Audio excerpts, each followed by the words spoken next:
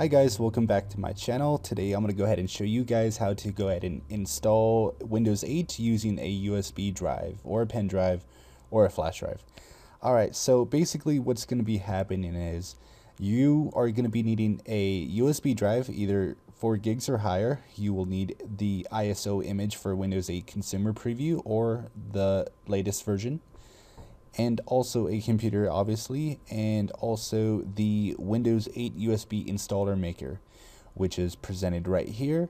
Um, there is a program there is a PDF program on or a PDF uh, reader on how to go ahead and install it word for word and also this video visual on how to install it.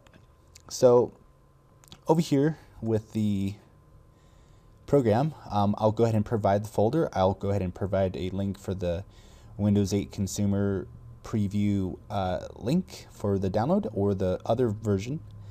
Uh, with the Win 8 USB program, you want to go ahead and right click and run as administrator. This window will come up. When you go ahead and do that, a uh, program will go ahead and show that you should have a USB drive in if you already have it plugged in. You go ahead and search for your ISO. It's always recommended to go ahead and save everything to your desktop for the temporary uh, spot. That way you'll know where it is and you don't have to keep on looking forward. Um, also, you want to go ahead and check the format drive. When you go ahead and have your USB drive in and the Windows 8 ISO image, what you want to do is go ahead and press create and when you go ahead and press create it'll take about 10 to 15 minutes depending on how fast your processor in your computer is.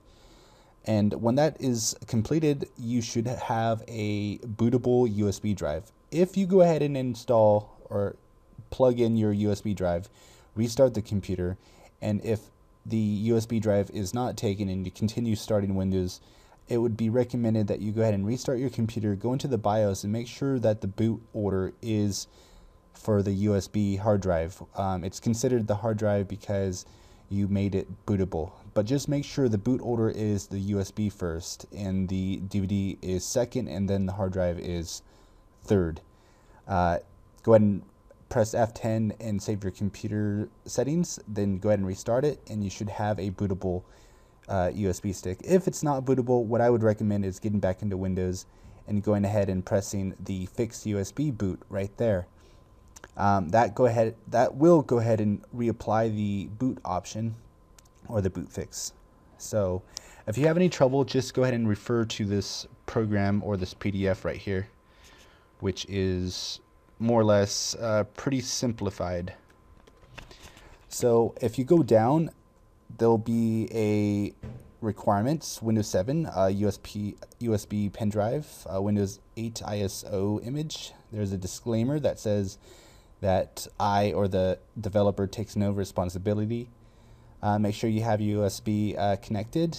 Uh, start the Win8 USB program. Make sure that your USB is inserted and is formatted for NTFS. Also, search for the ISO image, which should more or less be on your uh, desktop or in your downloads folder. Um, once it's formatted, go ahead and press create and then after that, press, uh, like I mentioned, press create. Um, it'll take about, like I said, 10 to 15 minutes. It might take even up to 20 minutes depending on how fast your computer is. Um, it might not be a little responsive. That's okay because it's at a peak of its um, transferring rate. And after that, you should have it completed. Uh, and like I said, just make sure that you have your USB stick set to go ahead and boot first.